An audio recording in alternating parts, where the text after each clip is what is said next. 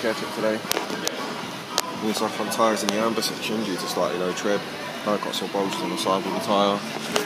The near side front suspension and discs are all okay, all in the green. Same with the offside front suspension and discs are all okay. Offside front tyre is in amber as well. Slightly low tread again. No cuts or bulges on the sidewall, however.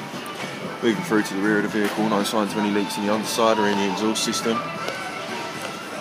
Near side rear tyre is in the green, tread depth is good, no cuts or bulges in the sidewall.